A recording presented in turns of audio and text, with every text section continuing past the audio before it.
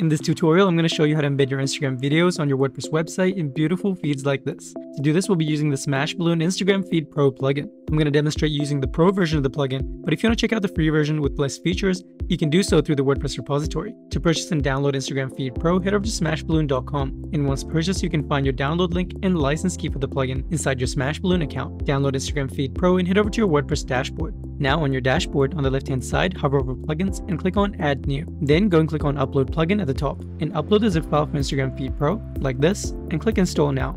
Once installed, click on Activate Plugin. And there we go, Instagram Feed Pro has now been installed and activated. But before we can create our Instagram videos feed, we'll have to activate the license key for the plugin. On the left hand side, you'll now notice Instagram feed, hover over it like this and click on settings. And now inside the settings menu, beside license key, we can paste our license key from our Smash Balloon account, like this, and click activate. And as you can see, our license key has now been activated and we can begin creating our feed. Once again, on the left hand side under Instagram feed, click on all feeds. Then go and click on add new at the top to get started.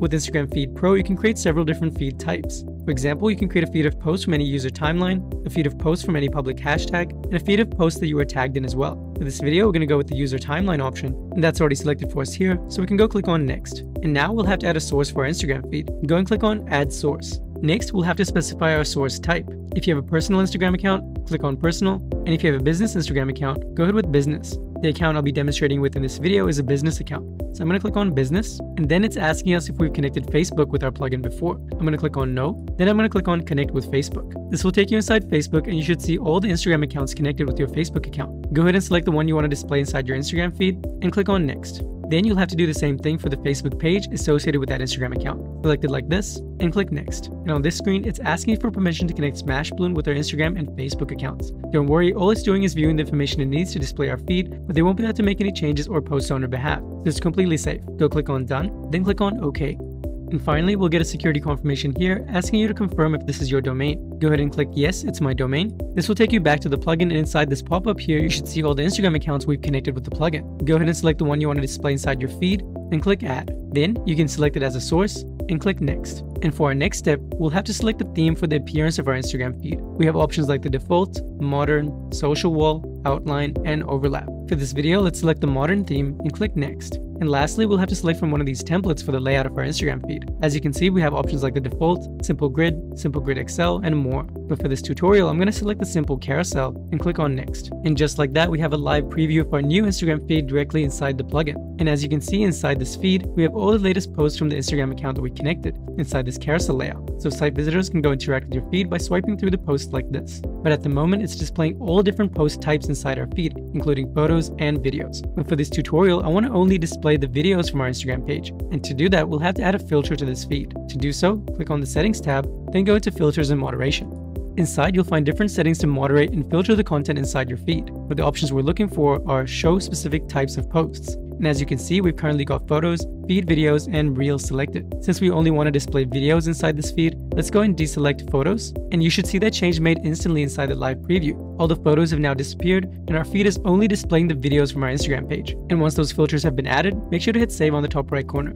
Our Instagram videos feed is now ready to be embedded inside our WordPress webpage, but before I show you how to do that, let me show you how we can customize it. On the left hand side under the Customize tab, click on Feed Layout. Inside, you'll find different options to modify the layout of your Instagram feed. Currently, we have the carousel layout selected, which as I mentioned before, allows you to swipe through your content like this by clicking on the buttons. Above that, we also have a grid layout, which displays your Instagram videos in rows and columns like this. Our third option is the masonry layout, which displays your Instagram videos in their original sizes in rows and columns once again. And lastly, we have the highlight layout, which highlights your latest post at the top in a larger thumbnail, followed by the rest of the videos in rows and columns. For this video, we're going to continue with the carousel layout, and if I scroll down below, we have even more options to modify your Instagram feed. At the top, you can choose to show or hide certain elements inside your feed, like the navigation arrows you see on the left and right, as well as the pagination dots at the bottom.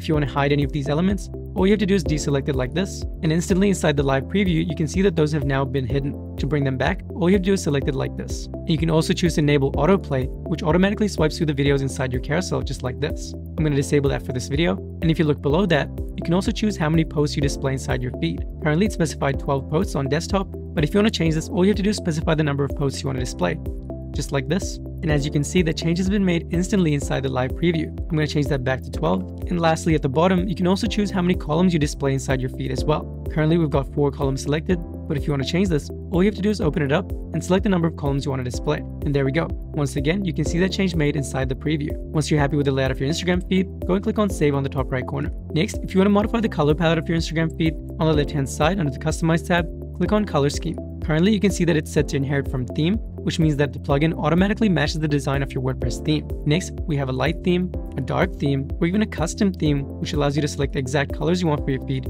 just like this. And once you've found a color scheme you're happy with, make sure to hit save on the top right corner. Next, if you want to modify the header on your Instagram feed, on the left hand side once again, click on header. And inside you can see we have several different header styles you can choose from. Currently we have the text header selected, which allows you to customize the header text at the bottom here. Other than that, we have a centered style, box style, and even a standard style, which includes your Instagram profile picture, Instagram handle, Instagram bio, number of posts, and number of followers as well. For this video, we're going to continue with the text header, and I'm just going to modify the text at the bottom here. I'm just going to change it to this, our latest reels. And once you're happy with the header of your Instagram feed, click on save on the top right corner. And lastly, if you want to moderate and filter the content inside your Instagram feed, let's go to the settings tab once again and click on filters and moderation. Previously, I showed you how we can select the different post types, but let me show you what other features are available inside this menu. If we go into moderate your feed and enable it, you can see that moderation mode has been enabled. Plugin gives you two options to use this mode, with the allow list and the block list. With the allow list, all the posts inside your feed will be hidden by default, apart from the ones you choose to manually allow on your feed like this. Next, with the block list, all your posts will be displayed by default, apart from the ones you manually choose to hide like this. And below that, you can also enter specific post IDs to hide those posts manually on your feed as well. I'm going to disable moderation mode. And if I go back into filters and moderation, and under filters, you can add words to hide or show posts containing those filters. With these filters and moderation options, you have complete control of the content you display inside your Instagram feed. And if you've added any new filters, make sure to hit save on the top right corner. Now that you know how to create and customize your Instagram videos feed, let me show you how we can embed it on your WordPress webpage. To do this, click on embed on the top right corner, copy your dedicated shortcode, then click on add to a page. Next, select the page you want to add your feed to and click on add. Now, here we are on our WordPress webpage and to embed our Instagram feed, you have two different options. First option is by using a shortcode block and pasting the shortcode you copied like this. Alternatively, if you're using Block Editor, you can use a dedicated Instagram feed block like this. With this option, you'll get a live preview of your Instagram feed directly inside your WordPress webpage. Now let's click on update and check out what it looks like on the live website. And here we are on a live WordPress webpage and right in the middle of our webpage we have a brand new Instagram videos feed. All the latest videos from our Instagram feed are displayed inside this carousel layout which you can swipe through like this and the feed is also created in the exact theme and template that we specified as well. At the bottom of each post, you can find the number of likes, comments, and a button to visit the page on Instagram. And if a site visitor wants to check out any of these posts, they can click on the video like this, and the video will automatically start playing directly inside your WordPress webpage. And if you're wondering if we can embed our Instagram feed inside the sidebar or footer of our website, we definitely can. Let me show you how. And here we are back inside the plugin, and I've just created a second version of our feed to fit inside the footer of our website. To embed this feed inside the footer, go click on embed on the top right corner, copy your dedicated shortcode once again, and instead of clicking on add to a page, click on add to a widget. This takes us into the WordPress widgets menu, and for this example, I want to embed this Instagram feed inside the footer of our website. So we can open up our footer here, and to embed our feed inside the footer, we have the same two options as before. We can either use a shortcode block and paste the shortcode that we copied earlier, or we can use our dedicated Instagram feed block as well. With this option, once again, you'll see a live preview of your Instagram feed directly inside the footer widget. I'm going to move this up, then I can click on update, and we can go check out how it looks like on the live WordPress webpage. And here we are back inside our WordPress webpage, and right in the middle, we have that Instagram feed we created earlier in a carousel layout with swipeable posts like this. And now if I scroll down all the way to the footer, we have our second Instagram feed right here, once again displaying all the latest videos from our Instagram account. But this time it's in a different layout and it's sitting inside the footer of our website. And just like the first one, site visitors can click on any video on this feed to view it directly inside your WordPress webpage. So you now know how to embed your Instagram content both on your WordPress webpage and inside the footer of your website as well. If you have any questions about what I covered in this video, please let me know in the comments down below. If you run into any technical issues, please contact your awesome support team. They'd be happy to help you out. And don't forget to subscribe to our channel to learn about social media marketing tips to help you grow your business. Thanks for watching and I'll see you in the next video.